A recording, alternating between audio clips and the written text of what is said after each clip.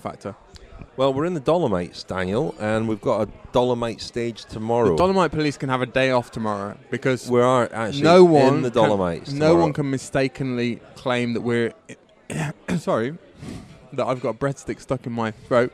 Um, no one can mistakenly claim that we're in the Dolomites tomorrow.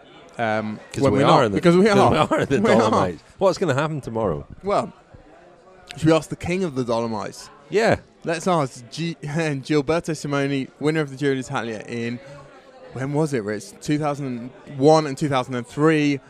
Hails from uh, the Dolomites. 2001, 2003. Yeah, hails from the Dolomites. Gibo d'Italia, they called him.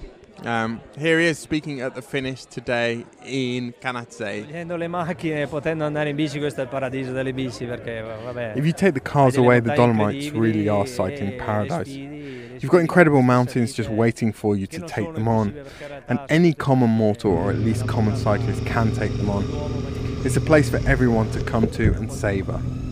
The three stages coming now are. Re-